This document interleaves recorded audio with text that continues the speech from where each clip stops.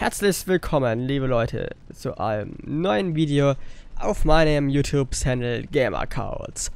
Dies ist ein neues Format, nämlich das Format Channel News. Und in dem Format bringe ich euch einfach aktuelle News von den vergangenen zwei Wochen. Und einfach, einfach gesagt, das Projekt kommt eben alle zwei Wochen.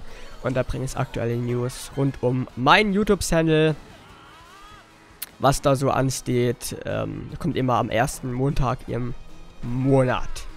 Und halt dann in der Mitte vom Monat nochmal. So, ja, ähm, wir haben ein paar aktuelle Themen zu besprechen. Das ist das einzigste Video, wo ich ein bisschen scripted vorgehe. Das werden nicht so lange Videos, weil ich da wirklich so ein paar Sachen sage, ähm, auf die ich dann zum Teil noch ein bisschen genauer eingehe, zum Teil nicht. Dient einfach dazu, damit ihr ein paar aktuelle Informationen auf meinem Channel haben, haben mich mehrere nämlich gefragt. Deshalb jetzt hier dieses Projekt. Ja, Sache 1 ist, ihr habt schon gesehen, ich habe einen neuen Thumbnail-Stil. Also, beziehungsweise bevor es dazu anfange, erstmal, ich gehe zu Anfang immer auf ähm, so aktuelle Themen ein. Und ab dem Part noch nicht, aber ab dem nächsten Part werde ich dann am Ende von dem Video immer auf auch, auch auf Analytics eingehen. Und ich sehe gerade, muss meine Facecam verschieben die nächste Runde, weil ich schon meinen Platz verdeckt. Ähm, und äh, wie gesagt, ab nächsten Part von Channel News werden wir auch auf Analytics eingehen, damit ihr da auch immer die aktuellen Daten habt. So, das erste Thema, was ich ansprechen möchte, ist, habt ein neues Thumbnail-Design, wie ihr jetzt hier vielleicht auch seht. Vielleicht haben sie einen oder anderen noch im Vorher gesehen. Ähm, ich hau das mal in Thumbnails ein bisschen mehr, also da ein schöneres, besseres Design reinbringe. In den ganzen Spaß. Ähm,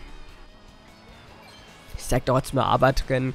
Also vom Layout her bin ich halt ein bisschen auf ein bisschen anders gegangen. Eher so groß die Paarzahlen und dann halt ein paar Charaktere, die in, in den Part was zu tun haben, noch irgendwie da rein den Also bin ich gerade doch ein bisschen beim Rumspielen. Und bei Live-Let's Plays ist ja klar, da sieht man nicht unbedingt vorher, was passiert, deshalb, aber die sind auch alle, wie ich das bin ich gerade, sind auch alle Projekte, die ich live mache, sind wirklich auch mit so einem, ähm, vom Mark markiert, dass diese eben live sind. Also, dass, dass die da Livestream oder live oder sowas dabei in der Ecke live ist, glaube ich. Dann wisst ihr vom Thumbnail her, das ist ein Livestream. Da sind die Thumbnails dann dementsprechend ein bisschen anders. Genau, das ist eben das erste Thema und der hat einen Stern und kommt mir gefährlich. So, hallo! Und natürlich habe ich die genauen Items. Das ist das erste, das erste, was ich sagen wollte. Ich habe eben neue Thumbnails. Ist wie gesagt ein oder anderen vielleicht auch aufgefallen. Ähm, genau, das war die erste News. Ich werde hier rumcutten, also wir sehen uns jetzt nach einem Cut wieder, wenn die nächste Runde beginnt. Bis gleich. So, ein weiteres Thema, was ich auch noch in dieser Channel News ansprechen wollte, sind, oder was ich jetzt nächstes Mal ein bisschen genauer aufbrüllen möchte, ist so Thema aktuelle Let's Play Projekte, ähm, was ich mir dazu gedacht habe. Weil ich habe da so ein Statement gemacht an Silvester Talk, wo ich ganz klar gesagt habe, ja, ich habe zwar mit Schule viel am Hut und das ist immer noch Stunt, muss sehr viel lernen, will aber trotzdem irgendwie auch noch das mit YouTube über einen Tellerrand bekommen und schauen, dass es da einigermaßen was abliefer. Mit Livestreams und normalen Parts und so weiter und so fort. Habe ich nach wie vor vor, es kommen nach wie vor eben Livestreams fast täglich abends und dann noch so Let's Play Projekte als Part, jetzt neu mit Tomodachi Live. Aber es macht das Ganze nicht mehr alleine, sondern ihr habt es bei Anthem zum Beispiel, seht ihr das, oder bei Resident Evil 2. Äh, habt einen Kollegen, der ist ein Samuel, der kennt ja auch so einen Breath of the Wild, der ist relativ länger auf dem Kanal. Jetzt hat er auch wirklich seine Content eigene Slay-Projekte, er hat ein eigenes Mikrofon, also ein eigenes Aufnahmestudio bei sich sozusagen zu Hause, was ich eingerichtet habe. Ähm, wo er dann quasi für Gamercouts, im Auftrag von Gamercouts, im Auftrag von mir, Videos für den YouTube-Channel aufnimmt hier damit ich nicht alles allein machen muss. Ähm, hat Vorteile. Ganz klar. So jetzt ich nicht das Alleinunterhalter, da alles aufnimmt. Sondern wir teilen es quasi ein bisschen so die Aufnahmen. Ähm, kommt vielleicht in Zukunft auch noch andere Member dazu, die Videos hochladen. Weil ich wollte gerne mal kurz ursprünglich auch als so Gruppe machen, also dass ich nicht der Alleinunterhalter bin, der alles Plays macht, sondern, weil man sagt das von Gamer-Couch, auf einer Couch können mehrere Leute Platz nehmen ähm, sollte eigentlich ursprünglich auch so sein, dass es einfach ein Gaming-Channel wird, wo mehrere Leute drauf zocken. Halt auch von meinen Bekannten. Ähm, ganz vereinfacht gesagt. ja, bin jetzt, wie gesagt, noch ein bisschen weiter im Ausbauen. Das muss man jetzt Bescheid wisst. Wie gesagt, ähm, Samuel macht auch Videos. Derzeit Xbox-Content. Ich bin von Nintendo eher, eher für Xbox. Kann man natürlich, kann man natürlich nicht pauschalisieren, aber so in etwa habe ich das gedacht. Weil er macht Resident Evil Anthem, ist bei den ganzen Nintendo-Projekte. Muss mal schauen, was da in die Zukunft noch bringt. Ähm, muss schauen, weil ich will wieder wirklich Parts und alles regulär bringen. Muss aber irgendwie schauen, dass ich mit Schule vereinbaren kann, weil da muss mich deshalb wirklich reinhängen. Weil jetzt das zweite Halbjahr frisch gestartet, da muss definitiv nochmal viel, viel mehr Gas geben. Im ersten Halbjahr und 9. Klasse am Gymnasium Bayern. Man kann so viel drumherum reden, wie man will. Ist einfach heißes Wehr. Ähm, und nicht jedermanns Sache. Deshalb, ja. Schule geht vor, Real Life geht vor. Ich probiere, wie gesagt, das Beste draus zu machen. Aber ich kann Stand jetzt Niente festpressen. Hoffe aber auch, dass jetzt wieder mehr Videos kommen. Soweit dazu und ein Thema habe ich noch. Das Video wird hier erst nicht groß, die Saddle News Part 1, weil ich wirklich so ein paar Themen nennen wollte und das erklären wollte und in der nächsten Runde geht's weiter. Bis gleich. Die nächste Runde und soweit noch ein wichtig, wichtiges, brandaktuelles Thema, was es ansprechen will. Wir haben seit dem Super Smash Bros. Turnier, was er am 3.3. war, am 2.3. war, und wieder eine relativ große Haterhelle an Leuten, die A in Livestreams oder auch in Kommentaren eine Nummer rein posten. Bitte Leute, ruft diese Nummer nicht an. Es ist, ihr werdet zu irgend, das ist irgendwie so eine Pay-Nummer, wo man dann 2 Euro verliert, wenn man anruft, macht das nicht. Das soweit zumal als Nervfaktor. Die Kommentare kann man ausblenden, soweit nicht so schlimm. So, nur, die, nur diese Leute erst jetzt im Jahr 1000 weitere Accounts, also ich weiß von mindestens sieben Accounts, die diese Hater besitzen, mit denen die mich dann anschreiben.